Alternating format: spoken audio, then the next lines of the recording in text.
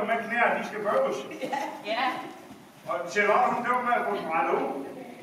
I kunne blive helt par, I to. Ja, kunne man spalte de to, eller fusionere det? Det var rigtig godt.